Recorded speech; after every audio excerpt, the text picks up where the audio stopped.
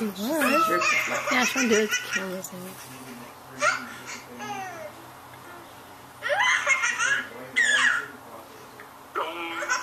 You're just looking at the camera. Your camera shine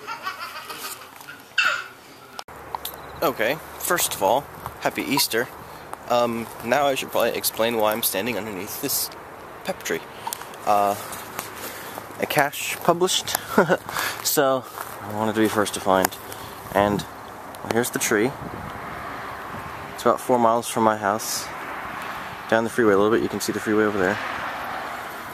And I was first to find. It's right back there. See the little black thing? That's it. Not very difficult. Not very difficult at all.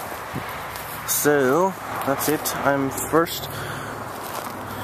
It's not recommended at night, which is right now. Let me just make my flashlight brighter. There we go.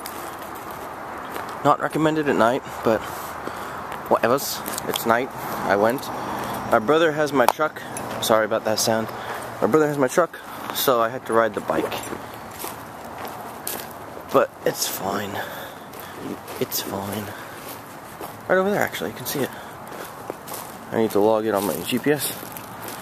Oh, right. Log attempt. Found. Add comment. F. Where's the F? F? There it is. T. F. Check. Done.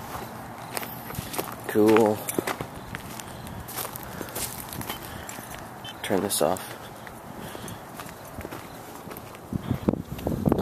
Alright, locking on. There's my bike. A little orange and red dot. That's it. That's it. Looks so nice at the night time. Look at that. Like a ninja. Well, it is a ninja. I wonder if anybody else is going to show up. I should wait for them. Uh, just sit here. Like, yep, I already got it. But anyway, talk to you later. Bye.